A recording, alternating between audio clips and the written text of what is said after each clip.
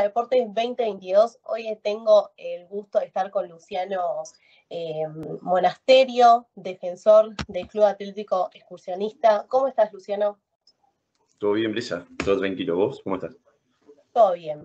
Bueno, tuvieron el último partido eh, contra la Ferrere, que fue por octavo de final por el reducido. Perdieron contra ellos por 2 a 1. ¿Qué crees que le faltó al equipo para, para poder ganarlo?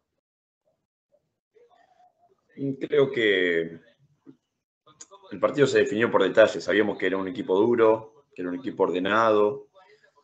Sabíamos lo que, lo que ellos proponían, que tenían buenos delanteros. Creo que nos, nos faltó un poco de, de concentración. Eh, sabíamos con lo que nos podía lastimar y creo que fue eso lo que pasó.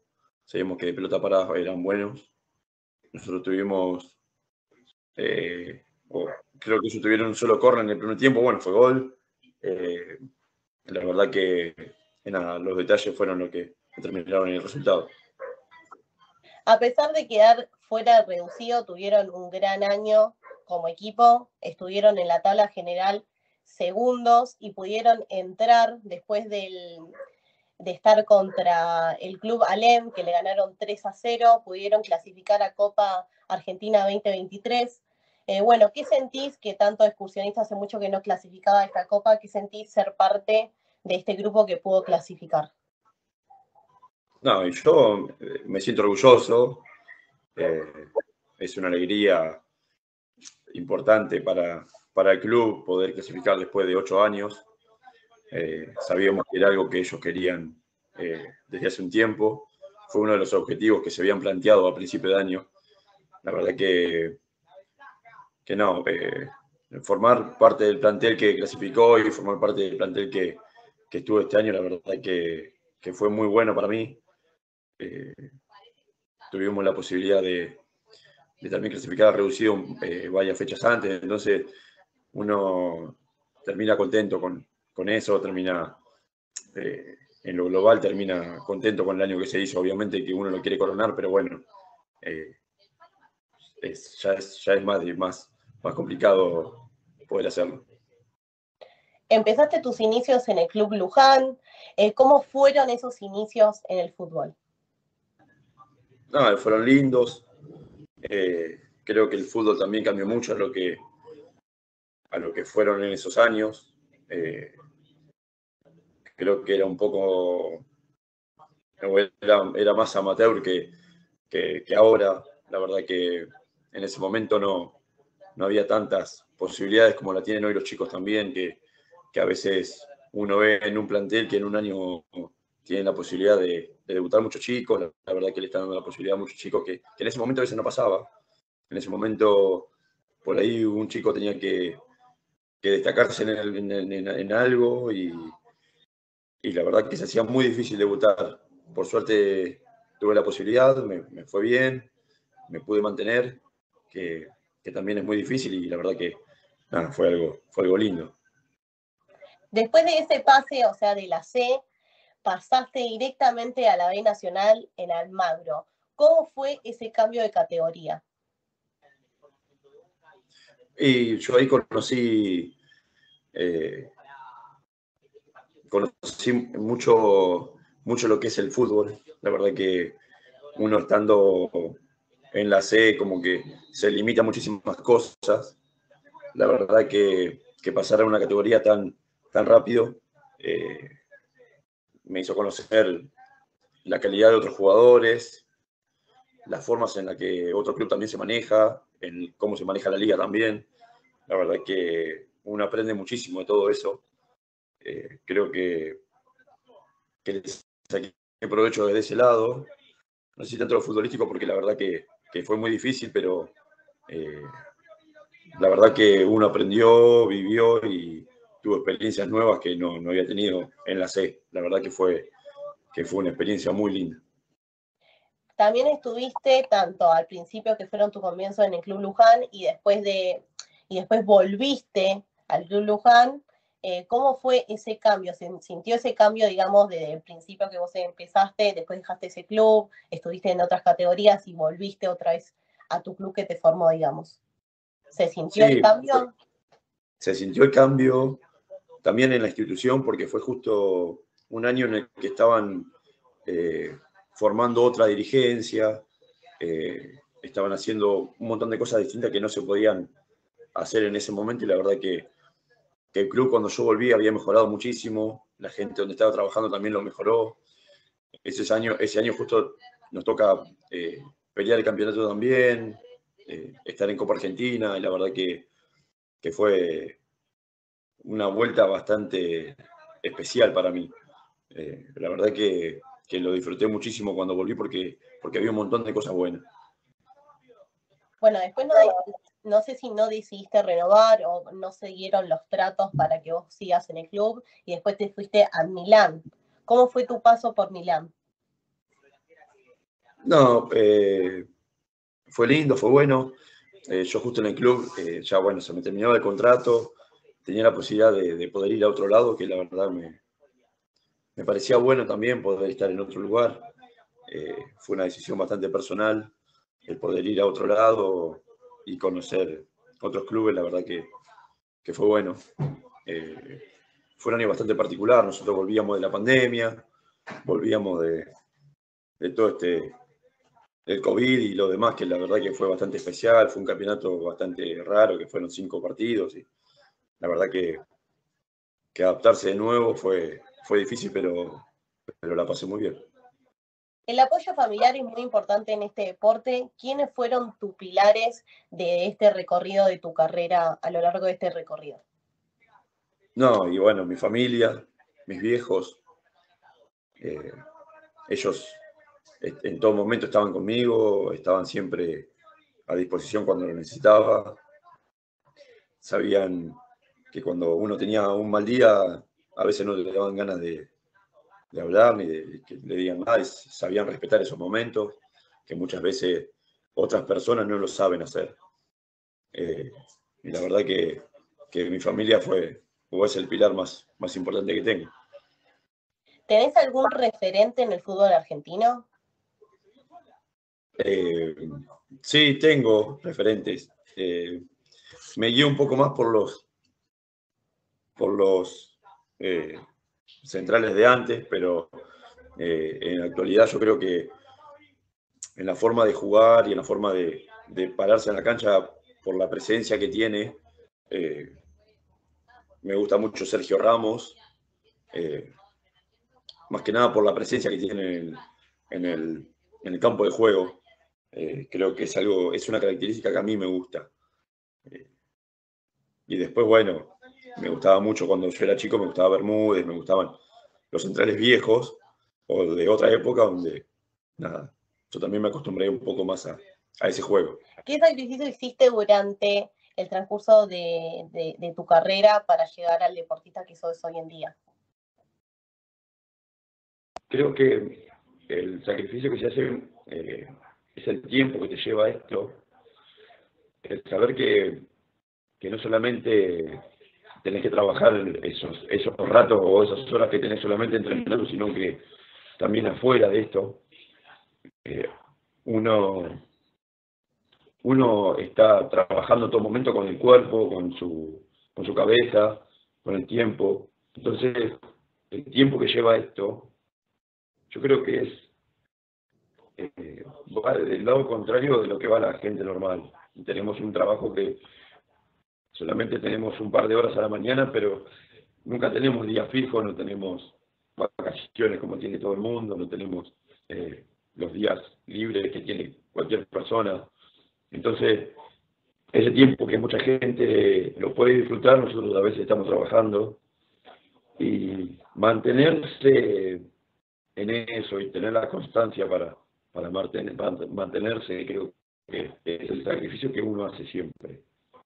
Eh, creo que eso es lo más, lo más sacrificado que nosotros tenemos. Bueno, ¿y qué significa el fútbol para vos? Sí, lo hice casi toda mi vida.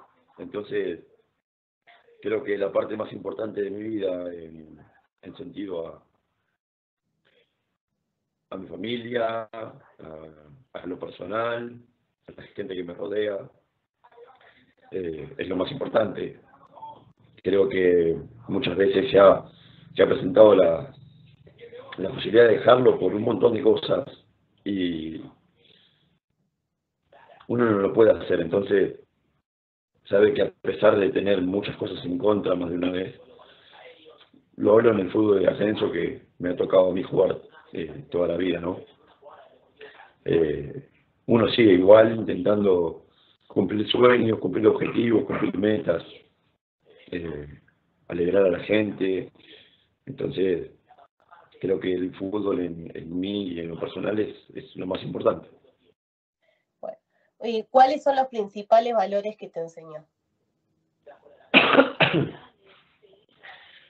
Bueno, este año fue bastante particular.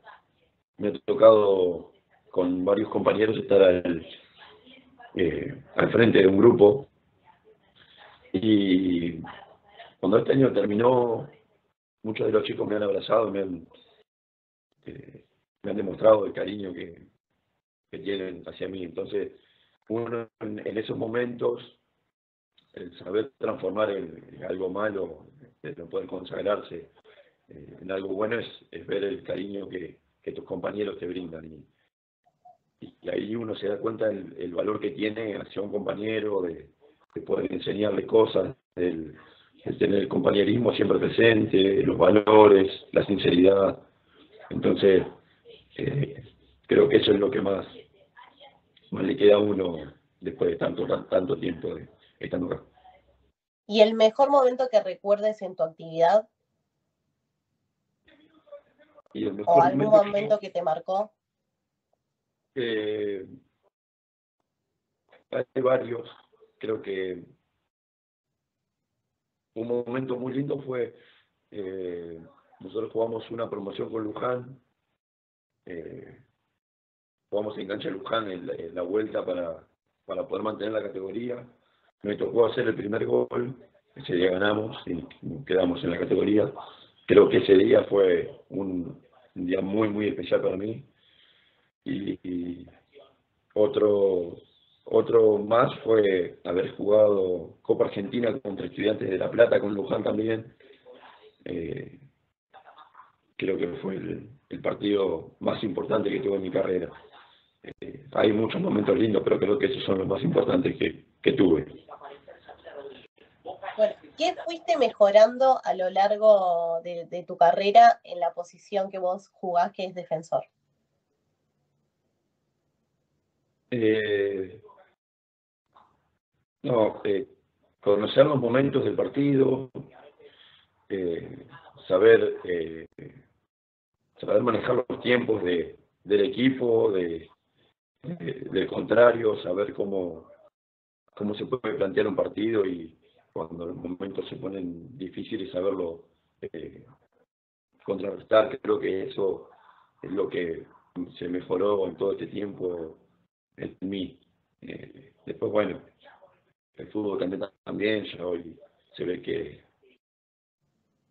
que lo físico como antes no se nota tanto, sino es más, más, más, más táctico, más técnico, ya creo que es más completo. Antes era, hablo antes, hace dos años atrás, eh, la categoría era muy físico, la verdad que cambió muchísimo. Entonces uno se tiene que adaptar a los momentos. Por suerte tuve la, la posibilidad de adaptarme y la verdad que, que eso fue lo que, me mantuvo hasta ahora. ¿Y qué es lo mejor de tu puesto? Tener eh, eh, la posibilidad de ver todo toda la cancha. Eh, yo sé que soy el último en, de la defensa, digamos, entonces tengo la posibilidad de poder ver a todos mis compañeros y tener la cancha siempre de frente para, para poder jugarlo y manejarlo a mi manera creo que es lo, mejor del puerto que donde me toca jugar. Vos jugaste muchos clásicos a lo largo de tu carrera. Eh, ¿Qué características tienen esos partidos y cómo lo encarás de la parte psicológicamente? No, bueno, eh, los primeros partidos fueron difíciles de manejarlo, más allá del sentimiento por el club donde yo jugaba. Eh, pero con el tiempo uno aprende también a, manejar los, nervios, a manejar la ansiedad y la verdad que, que en esos momentos eh, siempre gana la cabeza, gana la, mentalidad del jugador y no tanto lo físico.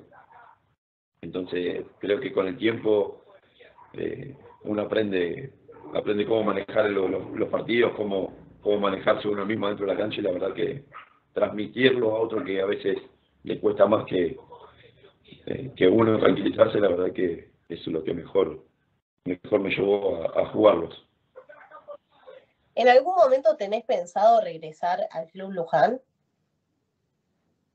Eh, sí, no sé si ahora, eh, pero tampoco quiero quiero volver cuando cuando no pueda no pueda más no no es mi mentalidad prefiero volver al club donde inicié eh, para ganar, para, para generarle, generarle algo bueno al club, no, no un paso de retiro y nada más.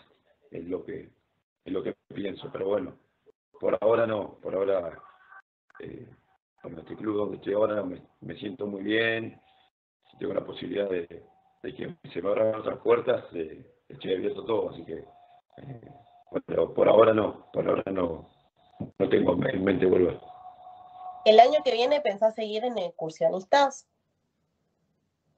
Eh, si es, si es, eh, tengo pensado eh, quedarme, obviamente que todavía falta, es un mercado muy, largo, no sé qué, qué, es lo que va a pasar.